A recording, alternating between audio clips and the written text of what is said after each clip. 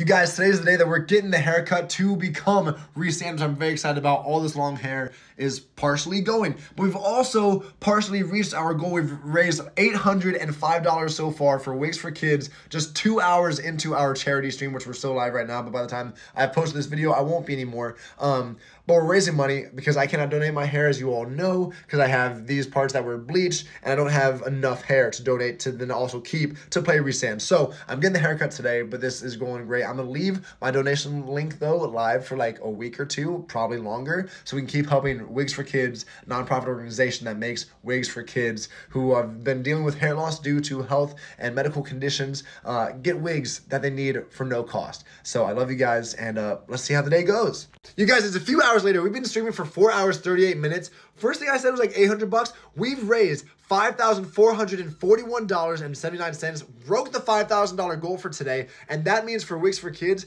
if $1,800 makes one wig, we've now made over three wigs. Like three wigs and then some for kids who need it.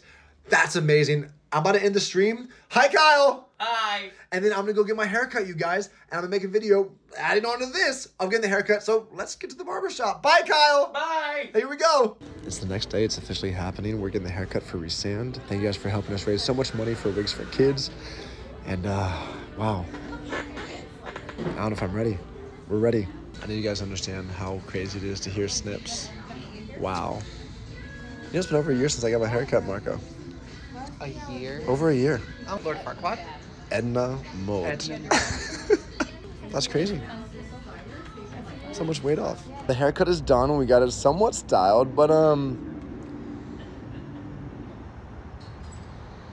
Give me my uh, nice dress suit. I'll tuck the wings away, throw my violet eyes in, and we got Rhysand. You guys, thank y'all again so much for helping me to raise money to make three wigs with wigs for kids, for kids in need. Thank y'all for helping me raise money and do something with my haircut that makes me feel like it was so well worth it.